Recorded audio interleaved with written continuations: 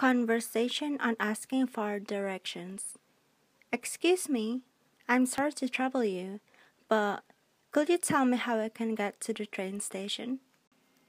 Yes, no problem. It's that way. Keep walking straight ahead, then after you pass the market, you have to turn left. Then take your first right, and it's across from the bus station. You cannot miss it. Thank you so much.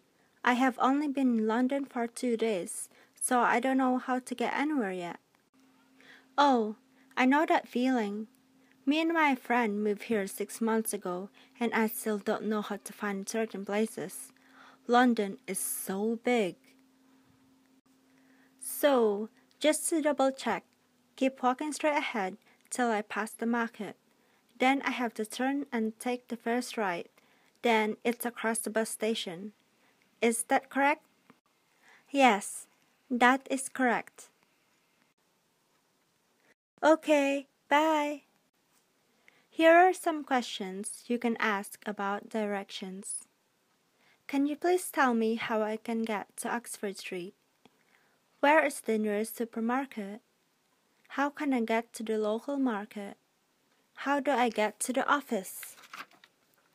What's the best way to go to your house? Where is McDonald's?